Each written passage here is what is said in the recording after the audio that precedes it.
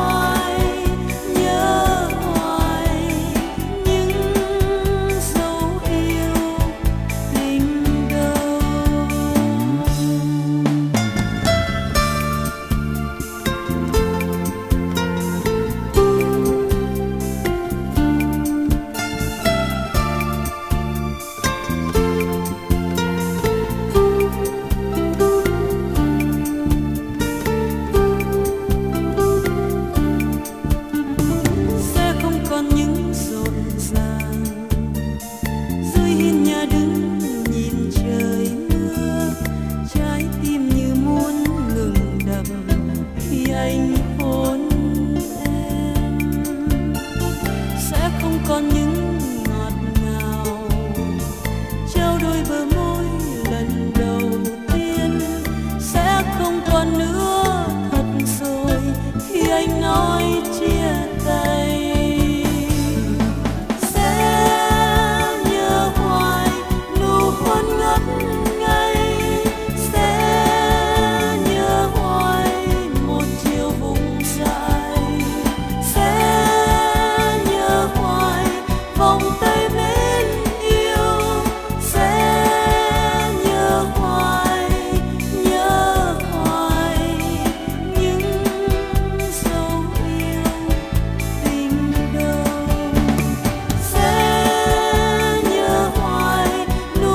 ngất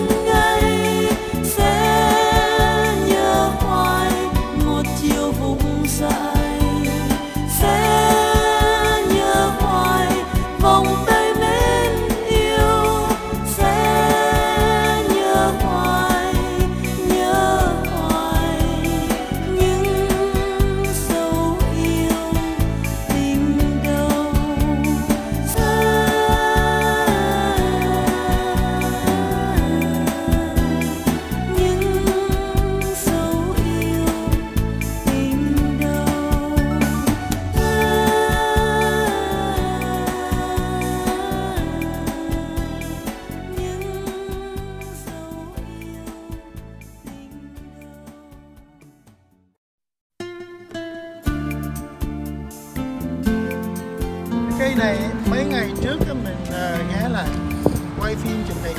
Cái đẹp quá. Hai ngờ hôm nay nó cưa rồi. Rất là may mình đã chụp lại được